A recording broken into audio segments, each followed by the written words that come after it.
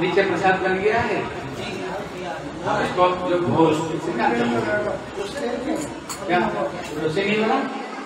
क्या कर रहे हैं रोसिया रोसी बन गया?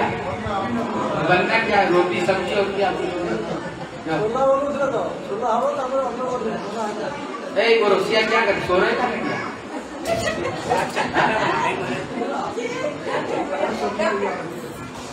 हरे कृष्ण।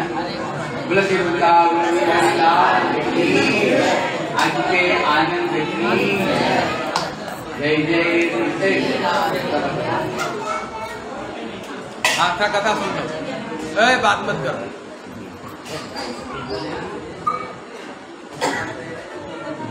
हरि बोल, हरे कृष्णा।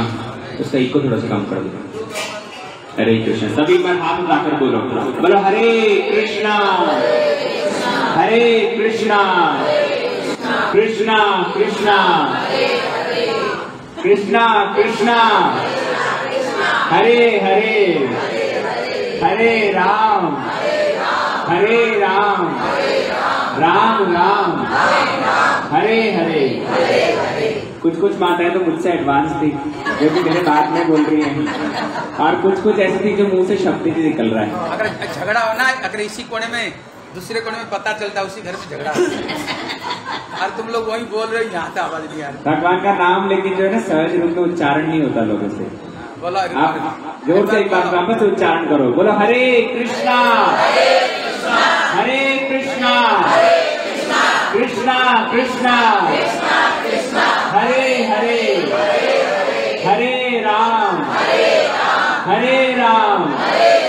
राम राम। हरे हरे। देखो अब देखो, सही सही घटना बता रहा हूँ। एक समय हॉस्पिटल में एक माता जी पड़ी हुई थी अंतिम सज्जा। शरीर छोड़ने वाले। हमारे जो बड़े गुरु जी को बुलाए, बाबा तो आकर के माता जी को आशीर्वाद दे दो। माता शरीर छोड़ने वाली। हम भी गए थे साथ में। लेकिन वो माता जी के मुँह से किसी तरह से भगवान का नाम ही नहीं निकला। वो कह रही है, बेटी के लिए हर साल में कपड़ा दे देना। बेटे के लिए हमारे जो अलंकार रखा ये बेटे को दे देना। घर का ये उनको जो बच्चे लोग होते बोले माता जी कोई चिंता मत करो। आप फिर से राम राम, कृष्ण कृष्ण बोलो। आप इधर उधर की बात मत करो, शरीर छोड़ने वाले हैं। लेकिन उसके मुँह से प्रभु का नाम नहीं निकला। किसी तरह से इधर उधर को सारा दिन बात करे। इतने में उसको बच्चे लोग बोल रहे थे थोड़ा राम राम करो। लेकिन उसको मुँह से निकले नहीं किसी तरह से। उसका जो पोते हैं ना, वो बड़े चालाक थे। बोले "पितर- पोते जी, उनको बोले, थोड़ा राम नाम, कृष्ण नाम करो। बोले, इतना मैं नहीं बोल सकती हूँ। इतना मैं नहीं बोल सकती हूँ। उसके जो नाती पोते थे, बोले, अम्मा जी, आप क्या नहीं बोल सकते हो? वो सोच रहे थे, इतना तो बोले कि राम राम, राधे राधे नहीं बोल सकती हूँ। बोले तू जो बुलवाना चाहते ना वही नहीं बोल सकते। अरे तू जो बोल रहे हो ना, राम राम बोल दे राम नाम ही नहीं बोल सकती। और दुनिया की सारी बात को हम बैठ करके और पूरा माता जी बैठ जाए ना, सास जितनी ए, बहू की देखना कितना सब बहू की उधर उधर बात इतने करने लग जाएगी। वो बात ही खत्म नहीं होगी। लेकिन बड़ोदरा हरि का नाम लो। मुँह से नाम राम का नाम नहीं निकलेगा है ना? बात सही है ना? हाँ सबके सब हरि की नाम लो, और अंतिम समय में यही काम आएगी और कोई काम आने वाले नहीं। ठीक है? बोले श्री वृंदावन बिहारी जय। जय देखो, ये भगवान का नाम जो उच्चारण करते हैं ना, भगवान का नाम एक तो पापी व्यक्ति के मुख से निकलेगा नहीं, है ना? आप किसी व्यक्ति को बोलो, राम राम, कृष्ण कृष्ण बोलने के लिए सुन रहे थे ना अभी? पूरे जीवन भर जो किया है, वही तो अंतिम समय में होगा। पूरा जीवन भर अगर संसार में लगाए तो अंतिम समय में भगवान का नाम निकल जाएगा? इतना सहज है। तो स्वामी तुलसीदास जी कहते हैं, जन्म जन्म मुनि जतन कराई, अंत राम कहीं आवत नहीं। तो ध्यान से सुनो, क्या कह रहे हैं? बोले बड़े बड़े योगी बड़े बड़े मुनि, ऋषि, वो एक जन्म नहीं कई कई जन्मों तक चेष्टा करते हैं। कई कई जन्मों तक चेष्टा करते हैं कि अंतिम समय में भगवान का नाम उच्चारण हो जाए। अभी प्रश्न उठता है कि अंतिम समय में भगवान का नाम उच्चारण करने के लिए क्यों बोलते हैं? इसका देखो, गीता में बड़ा एक रहस्य बता रहे हैं। खूब ध्यान देकर सुनो। भगवान गीता में कहते हैं, यम यम वापी स्मरणम भावम, त्यजते अंते कलेवरम। कहते हैं कि जिस चीज़ का स्मरण करते हुए हमारा शरीर छूटता है, उसी योनि को हम प्राप्त करते हैं। भागवतम के अंदर आप लोग भरत महाराज का उपाख्यान सुने होंगे। भरत महाराज वो क्या, पूरे जिनके नाम पे, हमारे देश का नाम भारत है, वो भरत राजा। वो क्या थे? एक चक्रवर्ती सम्राट थे ससागर। लेकिन उन्होंने क्या किया? भगवान का भजन करने के लिए राज्य सब परित्याग करके और वन में आ गए। जंगल में आ गए। अभी जंगल में आने के बाद जब अपना भजन कर रहे थे, कुछ समय में उन्होंने क्या देखा कि एक हिरनी ने नदी पार करते हुए, शेर के डर से नदी पार कर रही थी और उसी समय पर वो गर्भवती थी। तो उसने क्या किया? उसी समय पर उसका प्रसव हुआ और उसने एक हिरण के बच्चे को जन्म दिया। अभी छोटा सा बच्चा था, हिरणी तो नदी पार करते करते मर गई। ये राजा सोच रहे हैं कि इतना छोटा सा बच्चा है, हिरण का नवजात शिशु, इसको कौन पालेगा? तो इसको मैं अपने साथ रख लेता हूँ, क्योंकि जंगल में तो हिंस पशु हैं। भालू, शेर कोई भी आकर इसको खा लेगा। तो भरत महाराज क्या करने लगे? उस हिरण के बच्चे को अपने साथ में रख के पालने लगे। अब उसका पालन पोषण करते थे हिरण से आसक्ति हो गई। इस संसार में जिसकी हम सेवा करते हैं, उसी से प्रेम हो जाता है। है कि नहीं? एक माँ ने अपने बच्चे को जन्म दिया। अभी तक जब तक बच्चे को देखा नहीं है, तब तक उससे कोई प्रेम नहीं है। लेकिन जैसे उस बच्चे को सामने देखती है उसके प्रति स्नेह आ जाता है। उसको अपने स्तन का दूध पिलाती है, उसको धीरे धीरे बड़ा करती है, उसका पैखाना, उसका पेशाब साफ़ करती है, उसको अपना मुँह का खाना निकाल निकाल कर खिलाती है। बच्चे पाले हो ना? सब लोग। पता है, जितनी जितनी बच्चे की सेवा करते हैं, उतनी बच्चे से प्रेम होता रहता है। प्रेम होता रहता है ना? तो इस संसार का नियम है, जिसके प्रति भी हम एनर्जी लगाएँगे, जहाँ भी हम एनर्जी लगाएँगे, जिसकी भी सेवा करेंगे, जिससे उसके साथ प्रेम होता जाएगा। अगर संसार में लगाओगे, संसार में प्रेम होगा। ठीक वैसे ही अगर भगवान की सेवा करेंगे। माता पिता घर छोड़कर किसी शादी में गए हैं, कहीं बाहर। अब जैसे ही माँ के सामने खाने की थाली आती है, एक कोर उठा के और मुँह में देगी उससे पहले क्या सोचती है? बोले, पता नहीं बेटे ने खाना खाया कि नहीं? सोचती है ना? क्यों? क्योंकि बच्चे की इतने समय से सेवा करती आ रही है। अरे, ये डिश तो मेरे बेटे को बड़े पसंद थी। क्यों ऐसा विचार आता है? क्योंकि सेवा करी है। उसमें एनर्जी दी है। जहाँ हम एनर्जी देंगे वहाँ पर आसक्ति होगी ही, वहाँ पर अटैचमेंट होगा ही। इसीलिए अगर भगवान को कभी ऐसा तो होता नहीं कि भैया, हम खाना खा रहे हो और विचार आया हो कि हमारे ठाकुर जी को तो भोग किसने लगाया कि नहीं? ऐसा मन में कभी आता है? जिन लोग का आता है, वो तो बड़े सौभाग्यवान है भैया। हमारे तो ऐसा विचार नहीं आता, क्योंकि हम तो ठाकुर की इतनी सेवा कर नहीं पाते। तो मूल उद्देश्य क्या है कि जिसकी हम सेवा करेंगे, वहाँ पर प्रीति हो जाती है। अभी भरत महाराज ये भी हिरण की बड़ी सेवा करते थे। हिरण को, हिरण के बच्चे को जो भी खाने का चाहिए होता था वो देते थे, है ना? उसकी रक्षा करते थे। जब भजन करने के लिए बैठते थे पेड़ के नीचे, वो हिरण का बच्चा आकर गोद में बैठ जाता। उनको शरीर को चाटने लगता था। ये भी उसको बड़े प्यार से सहलाते थे। अभी उस हिरण से इतनी आसक्ति हो गई, पूरा राज्य छोड़ के आए हैं। राज्य छोड़ के आए किसके लिए? भजन करने के लिए।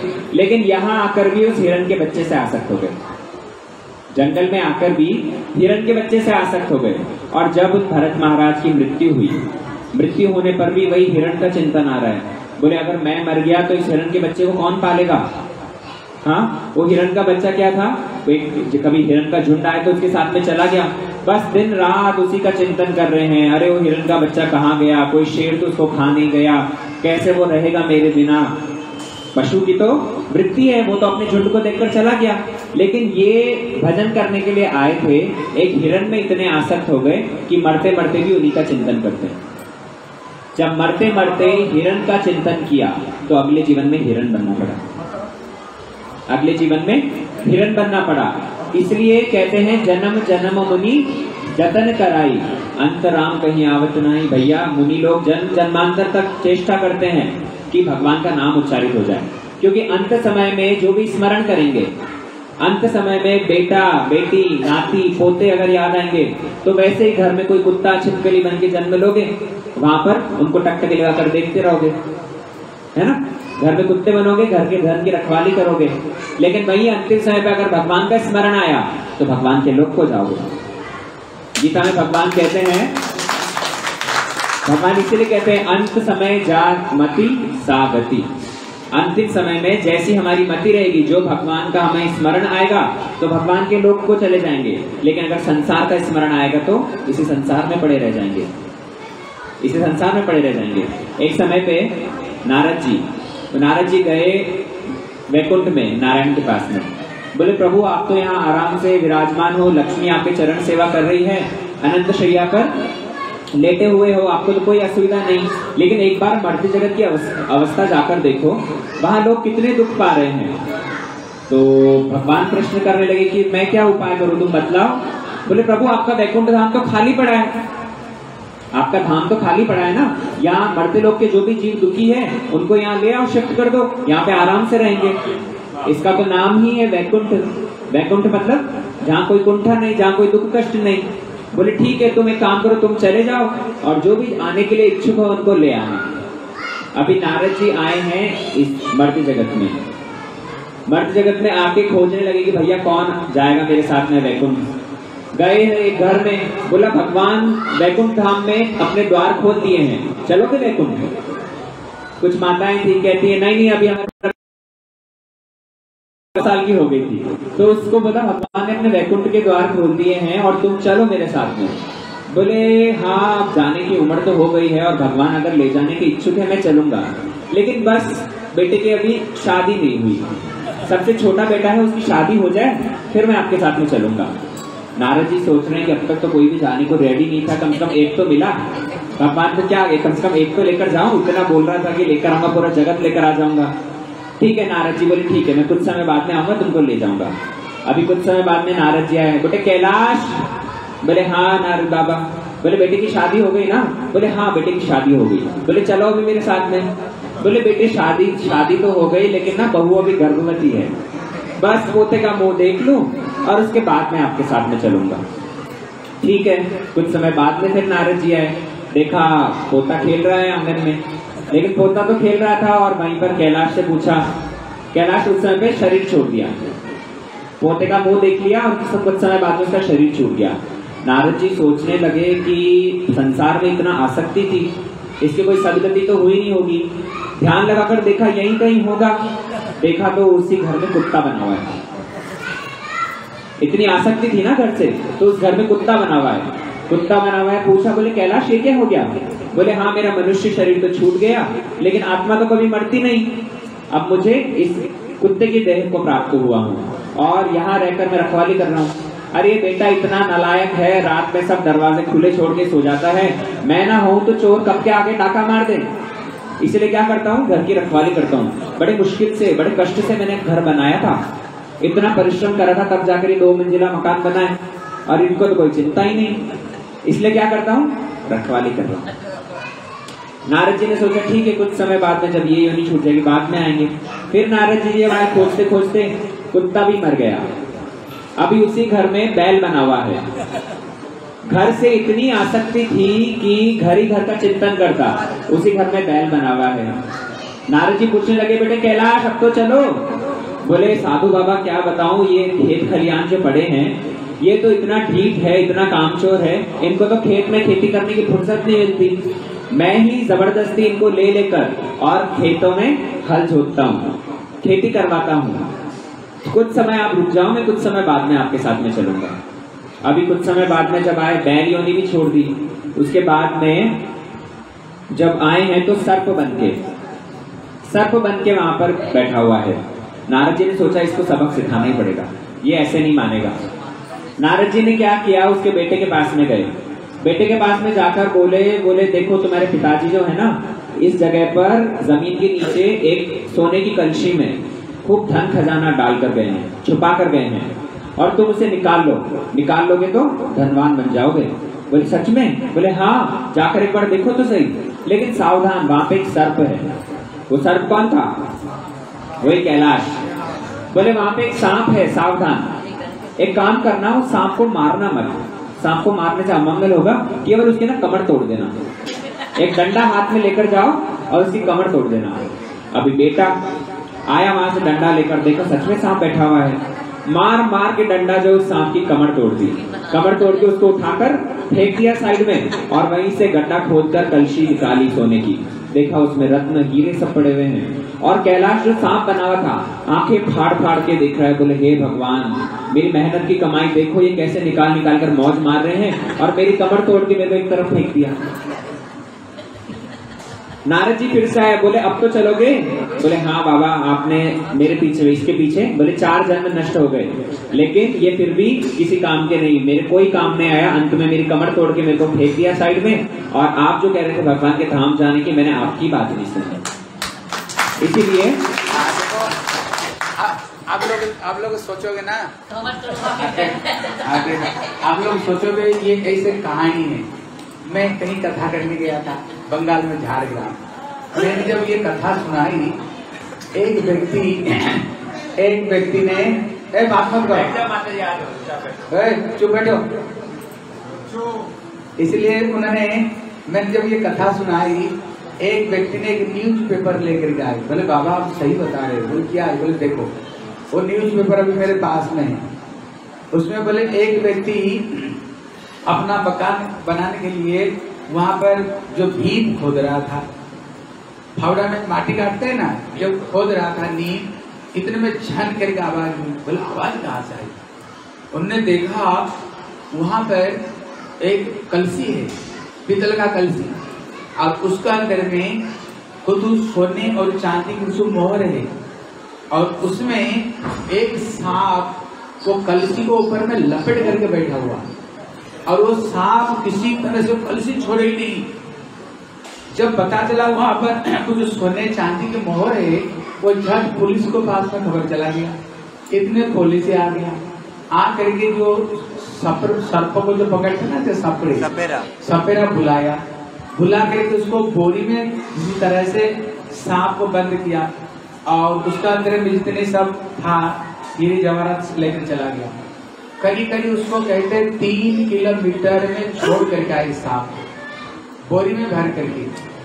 आधा घंटा बाद में देखते फिर सांप वहीं पर।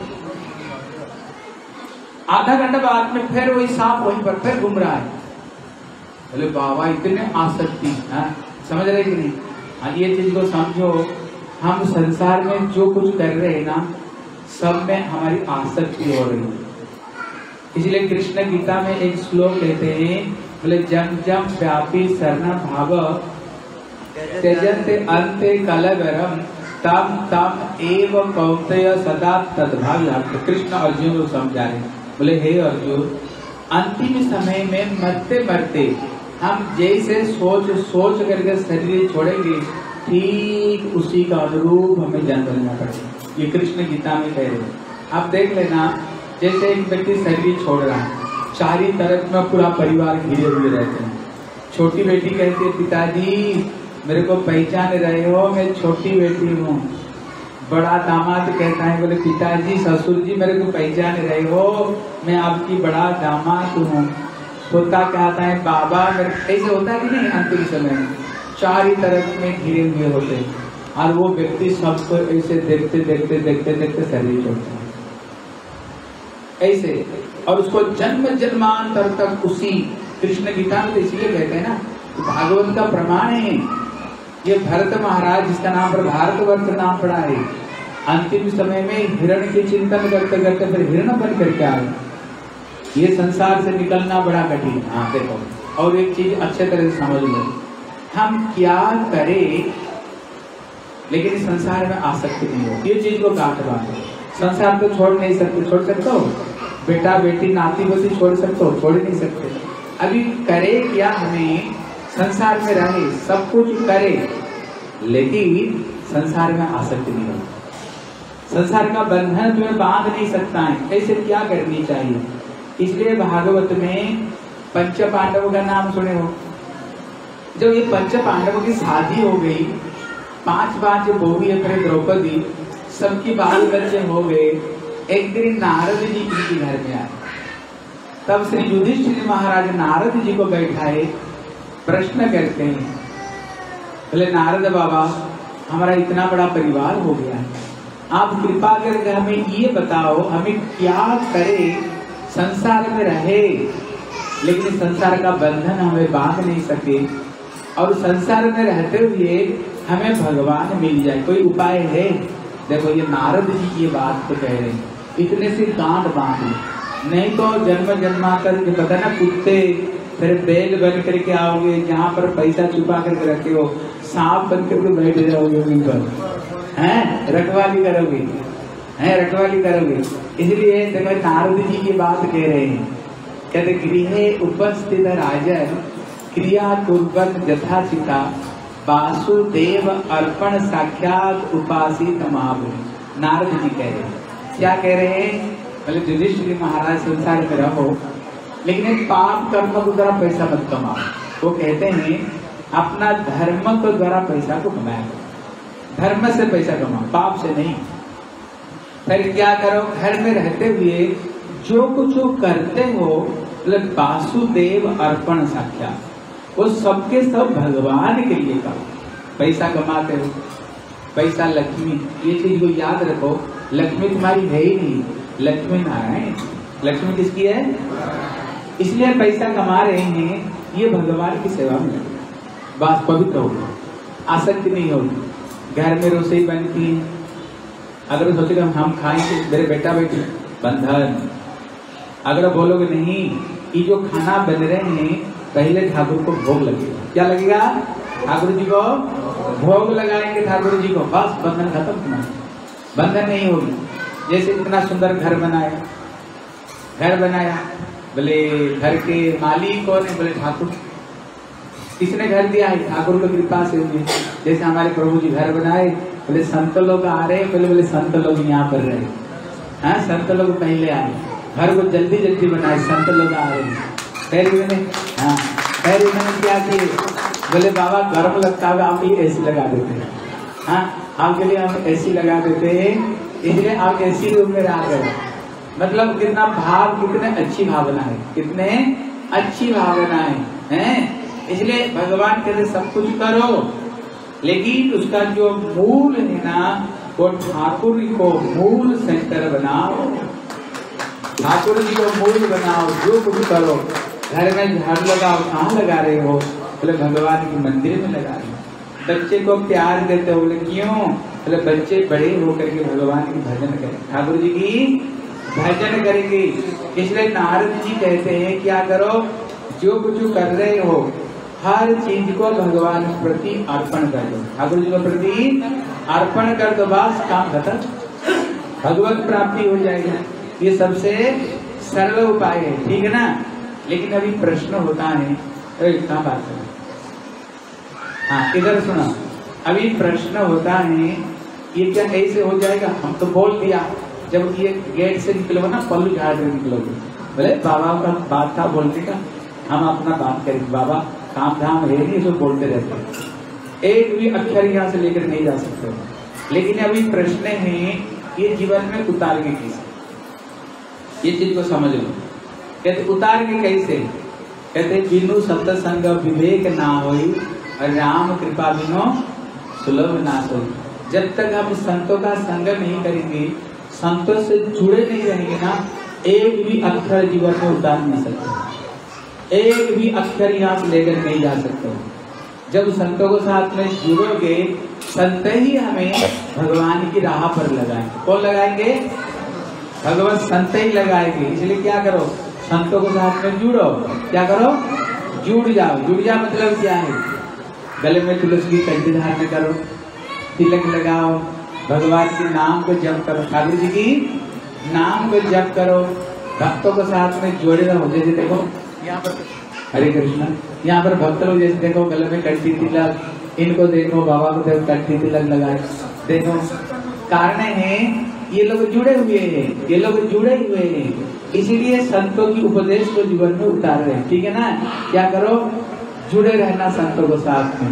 हरि नाम लेकर के हरि नाम करो, खुद करो, बच्चों को भी कराओ, परिवार को कराओ, पूरा परिवार प्रभु की भजन करे। ठीक है? कथा में आते हो सबके सब? कौन कौन आते हो? हाथ उठाते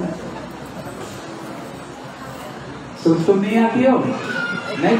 टीवी कौन देखेगा भाई सास वो की बात कौन करेगी? कथा सुनेंगे तो कल्याण हो जाएगी। कथा में आओ। ठीक है ना? हाँ इसलिए कथा में आओगे ना, जीवन में कल्याण हो, मंगल होगा और तुम तुम क्या करती हो?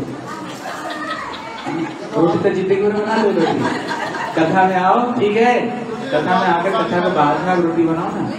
जितने ही पढ़ते रोटी बनाते रहोगे, संत तो थोड़ी मिलेगी। संत लोग तो दुर्गित गोत्री बात में चले जाएँगे, ठीक है? कथा में सब कैसे आओ। जैसे थोड़ी समय बैठे, मन सुधरा कि नहीं, मन बदला। लेकिन अगर साथी की कथा सुनोगे ना, पूरा तुम्हारी जीवन ही बदल जाएगी। कथा में आती कि नहीं? कथा में आती कि नहीं? नहीं कथा क्यों आ रही? हाँ बोले प्रसाद पानी कथा में आना ठीक है ना? कथा में आओ देखो माता जी सत्संग के बगैर ना जीवन का कल्याण नहीं होगा। हमें कोई सुधार नहीं सकते। संत ही सुधार सकते हैं। हैं? संत ही सुधारेंगे दुनिया में कोई हम नहीं सुधार सकते। इसलिए घर पे बहू निकलने नहीं देते हाँ, इसलिए हाँ, हरे कृष्णा। इसलिए सबके सब घर में आइए ठीक है? कथा में आओ और तीन चार दिन कथा है देखोगे ना कथा सुनोगे ना ये कथा ही हमारे मन को बदलाएगा ठीक है? कथा में आओ भगवान की कथा को सुनो जीवन में भजन करो और जीवन में शांति बुलाओ ठीक है? बोले श्री वृंदावन की आज के आनंद की जय। जय हाँ, एक बार खड़े हो जाओ, थोड़ा नाच लो। बैठे बैठ के प्यार टूट गया। खड़े हो जाओ सबके साथ। एक बार हाँ खड़े हो जाओ। सब एक बार हाथ उठाओ। तेज बोल रहे तो माइक को